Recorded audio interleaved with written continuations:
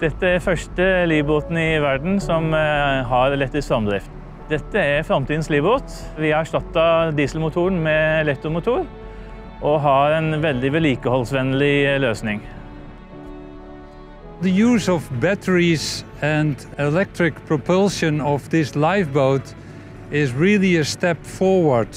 It means that uh, you can um, remotely check the condition of the batteries, which make it very safe before you enter the platform.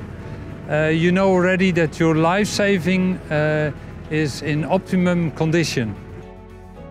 Vi har eh, fått vært med i alle prosesser og utvikla sammen med Veroff og prosjektet.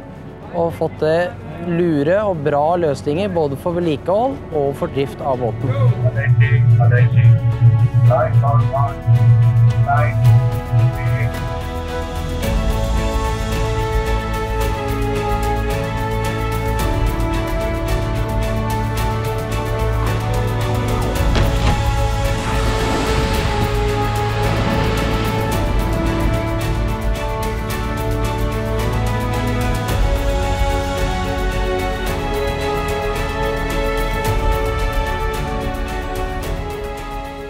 Det føles veldig bra å stå her i dag foran et nytt og bra produkt som jeg har vært med å utvikle. Livbåten her har mange fordeler. Vi har ingen støy inne i båten, og det er eh, ikke noe dieselduft. Når vi tar i bruk ny teknologi, eller eh, bruker kjent teknologi på en ny måte, sånn som her, så må vi gjennom et teknologikvalifiseringsløp som vi har gjort.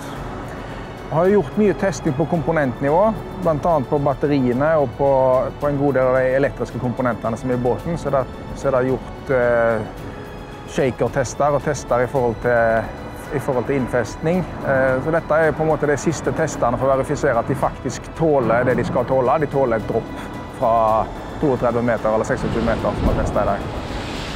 Det har vært en fornøyelse og jeg er stolt av leveransen. Vi har hatt en eh, sammensveisa gjeng som har vært med på prosjektet. Vi har hatt en leverandør som har vært seriøs og flinke og veldig imøtekommende i utviklinga av det designet her.